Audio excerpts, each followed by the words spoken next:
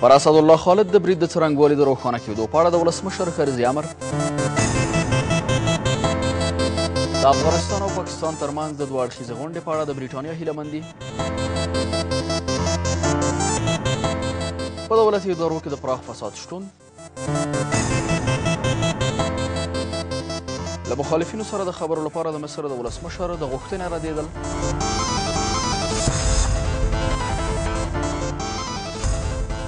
او په کونړ ولایت کې د میوو د ځنګلونو د وهلو په اړه اندېښنې د لمر او طلوع نیوز د نړیوالې خبري شبکې لیدونکو سلام د نن شپې خبري ټولګې ته ښه راغلاست نن جمعه د یو زر درې سوه او یو نویم هجري لمریز کال د قوس یلندې د میاشتې اوویشتمه چې د دوه زره او دولسم میلادي کال د ډسامبر له اوومې نېټې سره برابره ده دا هم بشپړ خبرونه ولسمشر کرزي امر کړی چې د ملي امنیت پر لوی رئیس اسدالله خالد د برید څرنګوالی باید په جدي ډول وڅېړل شي د چارو اداره او د وزیرانو د شورا دارالعین شاه وایي د یادې پېښې د څېړلو لپاره یو پلاوی ټاکل شوی او په یوې اونۍ کې به د پېښې څرنګوالی په ډاګه کړي بلخوا یو شمېر کارپوهان وایي د امنیت شورا او د ملي امنیت د لوی ریاست لخوا پر اسدالله خالد د برید څرنګوالی باید خلکو ته په ډاګه شي د هغوی په باور که دغه موضوع له خلکو پټه پاتې شي د ملي امنیت د لوی رئیس په پرتله به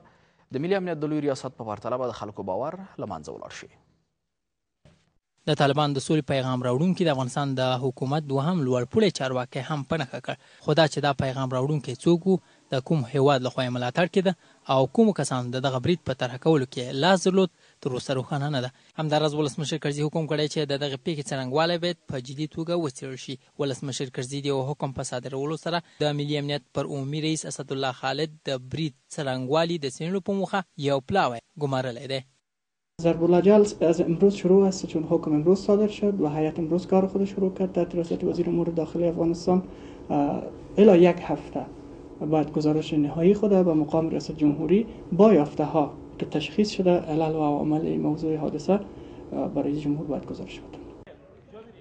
یو شمېر کارپوهان د ملي امنیت د عمومي ریاست پر ځاه په نیوکې سره وایي چې باید د ملي امنیت د عمومي رئیس اسدالله خالد پر ځان د برید څرنګوالی روښانه شي هغوی وایي چې په ځانګړې توګه باید د ملي امنیت شورا او د افغانستان د استخباراتو ریاست پر اسدالله خالد د برید څرنګوالی خلکو ته روښانه کړي.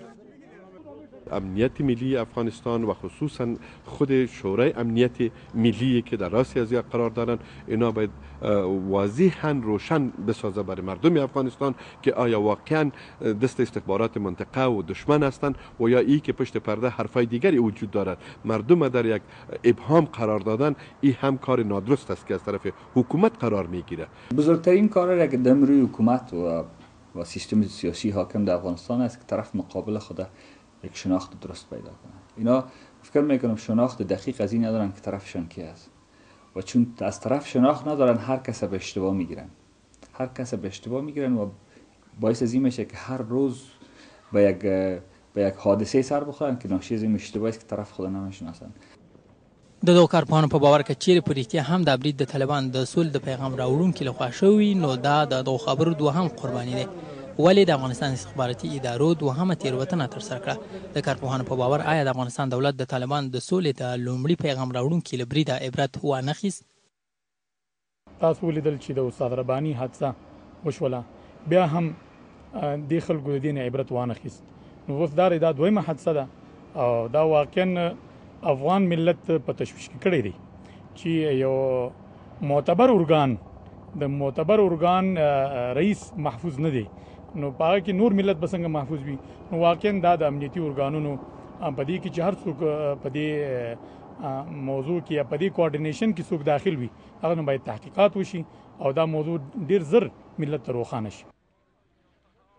د ملي امنیت عمومي رئیس اسدالله خالد د پنجشنبې په ورځ د کابل په تیمني سیمه کې د ملي امنیت په یو میلمستون کې د یو چاودنې له امله ټپي شو. له دغه برید وروسته ښاغلی خالد روغتون ته ولېږدول شو او اوس د نوموړي روغتیايي حالت ښه بل شوی دی. ویل کېږي ښاغلی خالد له دوه زره لومړي میلادي کاله تر دوه زره پنځم میلادي کاله پورې د غزني والي او له دوه زره او پنځم میلادي کاله تر دوه زره اتم میلادي کاله د کندهار د والي په توګه پاتې شوی چې له هغې وروسته د قومونو، سرحدونو او قبایلو چارو وزیر و. وروسته له هغه چې د ملي امنیت له عمومي ریاست څخه رحمت الله نبیل د ولسمشر له خوا ګوښه کړای شو، اسدالله خالد د افغانستان د ملي امنیت د عمومي رئیس په توګه وټاکل شو. تر دې وړاندې بهرنیو رسنیو لیکلي و چې د ملي امنیت د عمومي رئیس په توګه د اسدالله خالد له ټاکل کېدو وروسته په پاکستان کې د طالب قومندانان د وژلو هڅې زیاتې شوې دي. په کابل کې د بریټانیا سفیر د افغانستان او پاکستان ترمنځ دوه اړخیزه غونډه د دواړو هیوادونو د اړیکو په ټینګښت کې ډیره مهمه ګڼي د بریټانیا سفیر وایي هیواد پر دې پر ډیری هغو موضوعګانو چې کولی شي په افغانستان کې د سولې او ټیکولو ټینګښت سره مرسته وکړي بحث او خبرې کړې دي بلخوا په کابل کې د بریټانیا سفیر د یوې افغان میرمنې لخوا په کابل کې د دیوالي نقاشۍ له پیلېدو ملاتړ کوي جګړه داسې کلمه ده چې له کلونو راهیسې د افغانستان له نوم سره یو ځای یادېږي او زموږ زیات شمېر وګړي په دغو جګړو کې قرباني هم شوي دي. افغانان له دغې کلمې زیاتې خاطرې لري، خو اوس یوه مېرمنه غواړي چې پر دېوالونو د انځورونو په کاږلو سره د جګړې یادونه د افغانانو له ذهنونو پاک کړي. دې افغانې مېرمنې د دغه کار لپاره د دېوال پر مخ د نقاشۍ دنده غوره کړې ده. زیاتر می خوایم که خاطرات بعد جنگ از دیوارای کابل یا دیوارای تمام افغانستان پاک کنم. می فهم که یک هدف بسیار طویل مدت است خب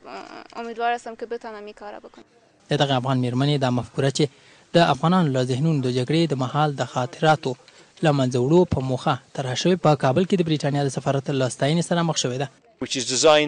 د نړۍ په نورو سیمو کې خلک افغانستان ته یوازې د جګړې له نظره ګوري. دا کېدای شي داسې پیغام نړۍ ته وړاندې کړي چې خوښي په افغانستان کې یوازې جګړه نه بلکې نور څه هم شته.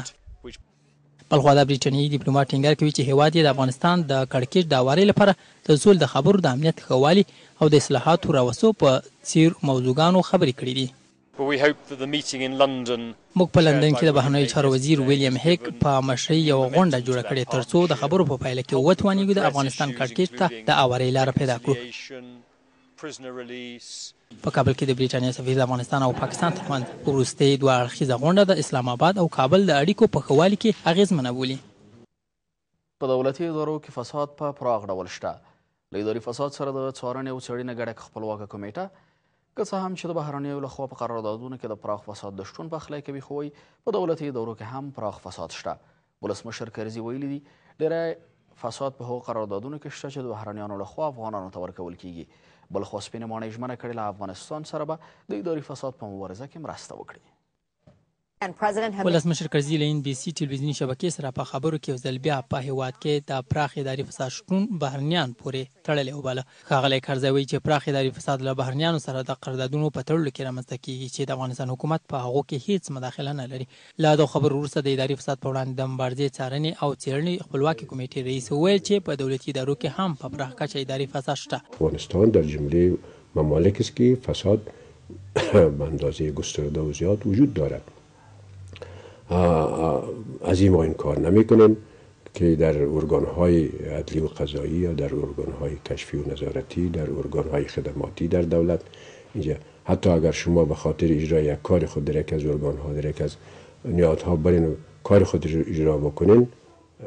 تا زمانی که یک مقدار پول نپردازین شاید کار شما اجرا نشود همین فساد است.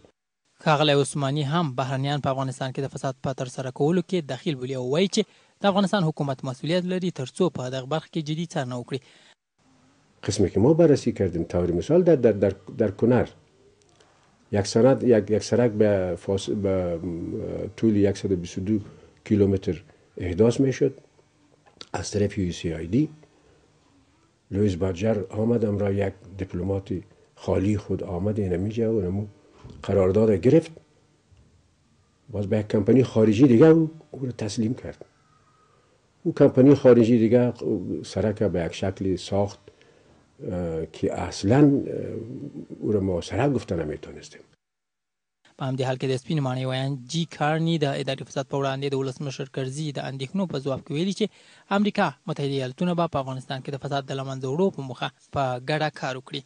سپین ماڼۍ په افغانستان کې د اداري فساد شتون اندېښمنوونکې موضوع بولي. دا ویناوې په داسې حال کېږي چې افغانستان په دې وروستیو کې د روڼتیا نړیوال سازمان لخوا د نړۍ د فاسدو هېوادونو د نوملړ په سر کې راغی.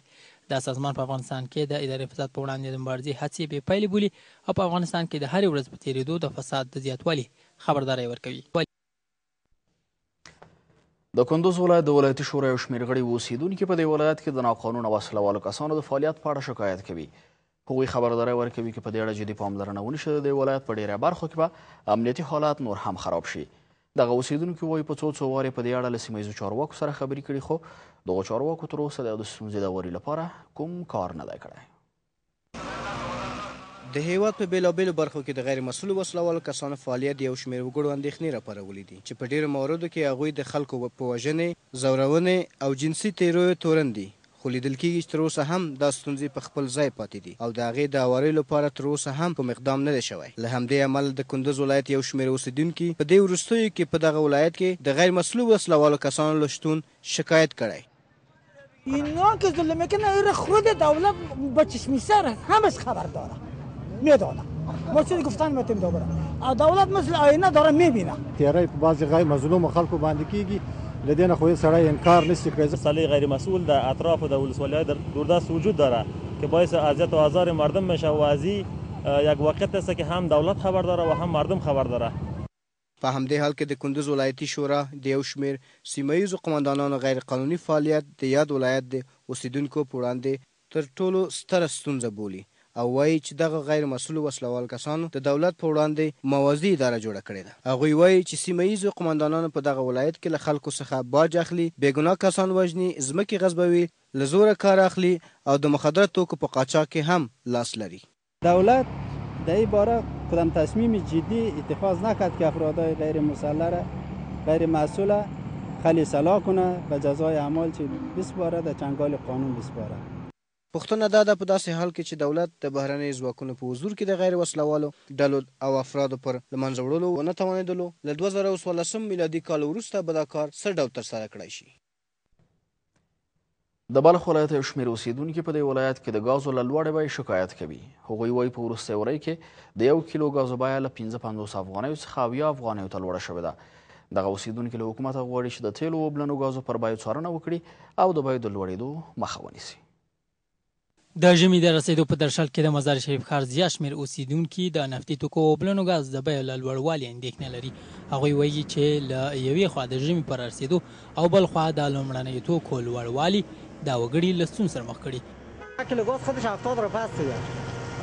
شاید که شاید از قیمت هم شود داره بیشتر قیمت است دیگه نه غریبی داره نه دیگه داره هر کس میبدد مشکلاتی داره. دلته د حیرتان په بندري ښارګوټي کې د نفتي توکو او اوبلنو ګازو یوه زېرمه ده. په دې ځای کې هره ورځ له درې سوه تر پنځه سوه ټنو نفتي توکي او اوبلن ګاز واردېږي. اوسمهال د حیرتانو ښار په دغه زېرمه کې کابو درې زره ټن نفتي توکي زېرمه دي. له دې سره سره د حیرتان د نفتي توکو رئیس وایي چې د ګازو کموالی او د خلکو د اړتیاو لوړوالی د بیو د لوړېدو لامل شوی.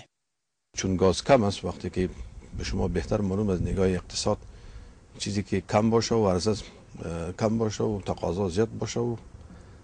گاز بلند میره خو. د حیرتان د نفتي توکو رئیس وایي چې ټاکل شوې د نفتي توکو او ګازو د بیو راکم والي لپاره به د مزارشریف په ښار کې د اوبلنو ګازو دولس دولتي مغازې پرانیزي. او په هلمند ولایت کې د ملي اردو زرو سرتیرو تر مسلکي زده کړو وروسته د فراغت سندونه ترلاسه کړل د میوند د دوه سوه پنځلس قول اردو قومنداني وایي دغو سرتیرو ته د نږدې دریو میاشتو په موده کې بېلابېل ډوله زده کړې ورکړل شوې دي د قومنداني زیاتوي د دغو سرتیرو په روزنې سره به په دې ولایت کې ځینې ستونزې له منځه ولاړې شي په هلمند کې د 215 میوان قولي اردو قوماندان تورن جنرال سید ملوک د پنځشنبې په ورځ خبریالانو ته وویل چې یاد سرتیر د هېواد له بېلابېلو سیمو څخه دي او د تیرو لسو اونیو په اوږدو کې روزنه ورکول شوې چې له دې ډلې به درې سوه سرتیري په همدې قولي اردو کې پاتې شي او پاتې به د ملي دفاع وزارت له لارې د هېواد بېلابېلو سیمو ته د امنیت ساتلو په موخه ولیږل شي. ما و شما آیسای سارا ما را مجموعی سای مسئولیتا به دوش بگیریم خود ما توانمندی از ایرا پیدا کردیم که ما سای مسئولیتا دفاع بکدیم. دوی د دې توان لري چې خپل لاس لرونکي سلا په هر نوع جوي شرایطو کې استعمال کړای شي. د قول اردو مسئولین وایي نور روزنیز پروګرامونه هم لري چې هغه به د درنو وسلو په برخه کې ترسره شي چې د امنیت تر لېږد وروسته به د اردو سرتېري وکولای شي چې په خپلواکه توګه عملیات وکړي.